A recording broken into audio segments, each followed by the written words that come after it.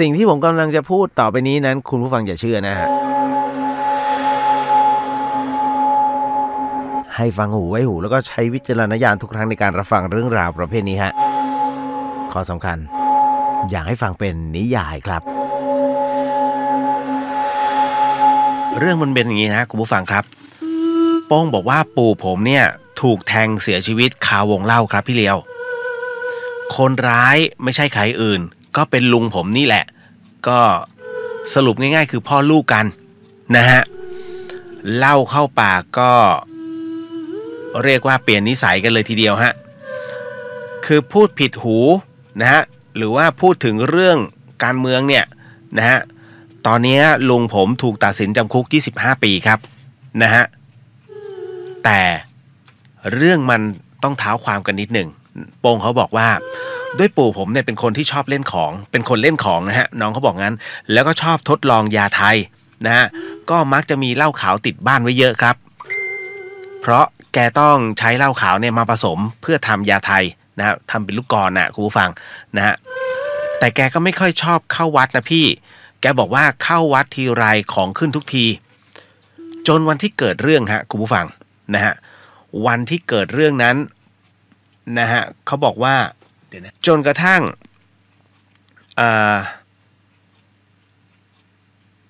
คือในช่วงบ่ายๆฮะจนวันที่เกิดเรื่องนะคือช่วงบ่ายๆเนี่ยแกก็ลองทำยาเป็นลูกกรเนี่ยใช้รักษาไตนะฮะตามตำรายาที่แกได้มาเลยครับ อันนี้โป้งก็บอก ก็มานั่งปั้นลูกกรกับผมนะฮะแล้วก็กับน้องอีกคนนึง จากนั้นลุงครับ ลุงต้อยพี่ชายนะ ซึ่งเป็นพี่ชายพ่อผมเนี่ยก็กลับมาจากไร่ กลับมาแต่วันเลย ก็ถือเอาเหล้าข้าวโพดมาสองขวด ก็มานั่งกินคนเดียวอยู่ตรงหน้าบ้านนั่นแหละนะตรงไม้หินหน้าบ้านนั่นแหละ นะเห็นว่าจะรอพ่อผมกลับมา เหมือนว่าแกจะมายืมเงินพ่อ คราวนี้ก็นั่งดื่มไปนั่งดื่มไปนะฮะบนคนเดียวตามภาษาของแกแหละฮะนะส่วนปู่ก็เข้าห้องไปทำของนะก็คือไปเหมือนกับไปปลุกของน่ะให้กับคนที่เขาให้ช่วยหน่อย ผมก็เลยไปบอกกับลุงว่าลุง เงียบหน่อย ปู่ปลุกเสกของอยู่นะฮะจากนั้นฮะป้องก็บอกว่าปรากฏว่าลุงแกก็ตะโกนแบบมึนๆนะนะฮะเพราะว่าในขณะนั้นนะที่ปู่กำลังเหมือนกับว่าปลุกของให้อยู่เนี่ย ลุงแกเนี่ยทั้งเหล้าขาวของของปู่ด้วยนะฮะแล้วก็เหล้าเข้าวโพดที่แกเอามาด้วยเนี่ยนะฮะโอ้กินกันผสมปนเปกันฮะจนแบบเมามากๆ แล้วก็เลยพูดผงผางออกไปฮะ ก็บอกเลยฮะ บอกว่าแกตะโกนแบบมึนๆนะพ่อพ่อทำอะไรอะ่ะ เที่ยวไปโกหกชาวบ้านเขาพ่อไม่ไม่กลัวเขาเรียกตำรวจมาจับเหรอคือแกพูดดังมาก ผมก็บอกว่าให้เบาๆแกก็ด่าผมว่าไม่ต้องมายุ่งนะฮะลุงแกเขาจะพูดจาแบบเหมือนคนพาลฮะนะฮะโป้งก็บอกอย่างนั้น ปู่ผมสักครู่หนึ่งก็เลยเดินออกมาจากห้องนะฮะ แล้วก็ไล่ให้ลุงกลับไปนอนนะฮะที่บ้านนะฮะแต่แกก็ไม่กลับฮะก็นั่งกินเหล้าอยู่คนเดียวอยู่อย่างนั้นน่ะนะฮะคราวนี้เมาหนักๆเข้า ไอ้น้องที่ช่วยนั่งปั้นเนี่ย มันก็ขอกลับบ้านก่อนนะฮะแล้วคราวนี้ลุงแกมาพูดถึง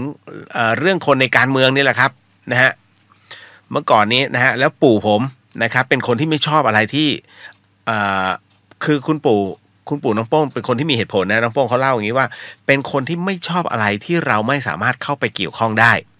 แกก็จะไม่เอามาให้รกสมองฮะ ปู่ก็เลยห้ามครับ บอกว่าห้ามพูด หากพูดอีกจะคว้างขวดเหล้าทิ้ง ลุงแกก็ย้อนกลับมาฮะ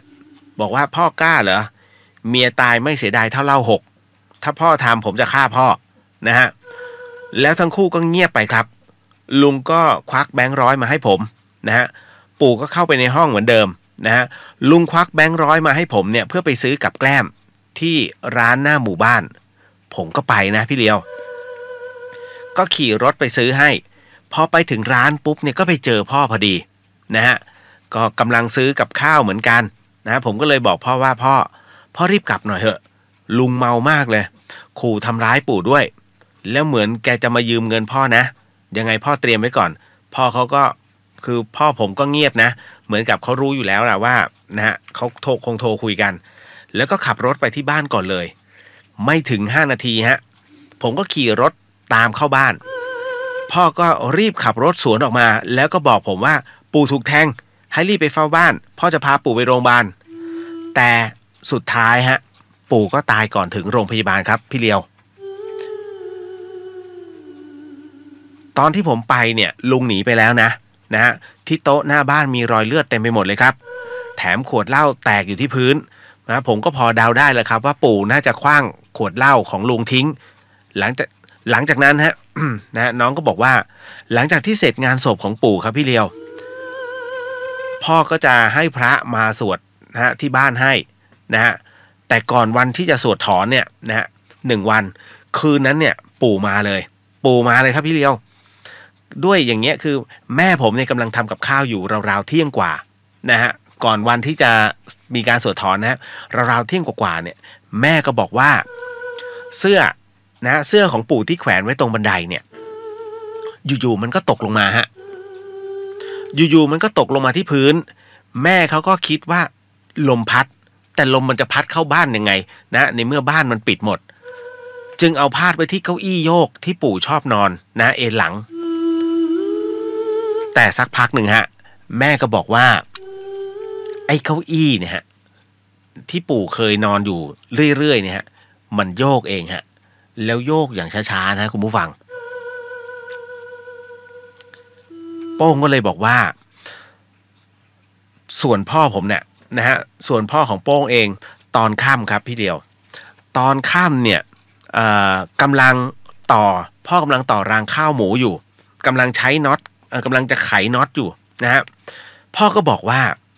ห้องที่ปู่นะฮะที่ใช้ในการปลุกของอยู่เนี่ย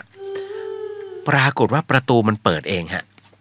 ทั้งๆทที่มันถูกล็อกไว้นะฮะมันถูกล็อกกุญแจไว้ แต่มันเปิดเอง แล้วจากนั้นก็ได้กลิ่นเหมือนกลิ่นไม้ขีดแล้วก็กลิ่นทูบฮะเหมือนคนกำลังจุดบูชาเลยสักอย่างหนึ่งพ่อก็เลยเดินไปดูที่ห้อง พ่อบอกว่า ก็สงสัยเหมือนกันว่า ใครมาเปิดห้องหรือเปล่า อันเนื่องมาจากว่า ไอ้กุญแจที่โดนล็อกไว้เนี่ย มันมันเหมือนกับว่า ไอ้ตัว ไอ้ตัวสายยูมันอยู่ข้างนอก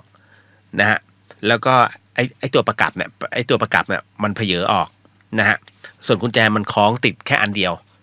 แสดงว่ามีคนเปิดเอาไว้นะฮะพอพอเปิดเข้าไปดูเนี่ยฮะ โป้งบอกว่าก็ไม่มีใคร พ่อบอกว่ามันมันมันก็ไม่มีใครนะฮะก็เลยตะโกนถามแม่ แม่ จุดทูบไหว้พระหรือเปล่า แม่ก็บอกว่าเปล่าครับนะฮะพ่อก็เลยเดินกลับไปทำงานต่อฮะแต่วันนั้นเนี่ยนะฮะโป้งบอกว่าผมเนี่ยออกไปเอาของที่วัดพวกอัศนะพวกเอ่อพวกโต๊ะหมู่บูชานะฮะพวกแจกงแจกันอะไรต่างๆ เนี่ย เพราะว่าอีกวันหนึ่งจะ ก็จะนิมนต์พระที่วัดนั่นแหละมาสวดถอนให้ ผมก็ออกไปที่วัดนะเพื่อจะไปขนของมาไว้ กว่าจะกลับเนี่ยถึงบ้านก็ห้าทุ่มกว่าๆแล้วพี่เลียว โป้งบอกว่าพอผมจอดรถปุ๊บ แล้วก็ขนของเนี่ยนะฮะมาไว้ภายในบ้านพอขนของมาวางในบ้านเสร็จเนี่ยก็เลยเดินออกไปล็อกรั้วบ้านฮะประตูรั้วที่บ้าน แต่พอหันหลังกลับมาเท่านั้นฮะพี่เดียวครับ ผมมองไปในบ้าน สิ่งที่ผมเห็นก็คือ ปู่ครับ ปู่กำลังเดินวนไปวนมาอยู่ที่หน้าห้องของเขาที่เขาใช้ทำพิธีในการปลูกของ แถมเลือดเลยฮะ แถมเห็นเลือดเต็มเสื้อเลยพี่เลียว เพราะปู่ใส่เสื้อสีขาว แล้วผมก็หยุดดูตรงนั้นครับ ปู่อยู่ตรงนั้นเป็นนาทีนะพี่เลียวนะ ผมก็เลยหยิบโทรศัพท์โทรหาพ่อครับ นะพ่อก็ถามมีอะไร พ่อพ่อพ่อเอ่อน้องเขาบอกว่าพ่อเขานอนแล้วนะโป้งก็เลยบอกว่า ผมบอกว่าปู่มาครับ พ่อปู่เดินวนเวียนอยู่หน้าห้องนะฮะพ่อผมก็เลยรีบลงมา แล้วก็เปิดไฟ แล้วผมก็เห็นนะแล้วผมก็เห็นปู่เนี่ย เดินเข้าไปในห้องครับ พอพ่อผมเปิดไฟในบ้าน ผมก็เลยบอกว่า ปู่เข้าไปในห้องแล้ว ผมลืมบอกพี่เหลียวครับว่า ตอนที่เห็นปู่นั้นน่ะ ไฟในห้องครัวที่บ้านผมเนี่ยมันจะถูกเปิดทิ้งไว้ตลอด ดังนั้นแสงในห้องรับแขกแม้ว่าจะถูกดับลง แต่มันยังเห็นฮะนะฮะคือตรงห้องปู่แม้จะมืดแต่ยังไงก็เห็นนะครับ น้องก็บอกอย่างนั้น หลังจากนั้นฮะคุณผู้ฟัง หลังจากนั้นโป้งก็บอกว่า พ่อเนี่ยเดินไปเปิดประตูห้องปู่นะพี่เลียว แต่ก็ไม่มีใคร ผมก็ไปยืนอยู่ด้วย เลยยกมือไหว้บอกปู่ ให้ไปสู่สุคติเถอะครับนะเพราะว่ากลิ่นเนี่ยฮะกลิ่นทูบนะฮะจากวันนั้นถึงวันเนี้ยโป้งบอกว่า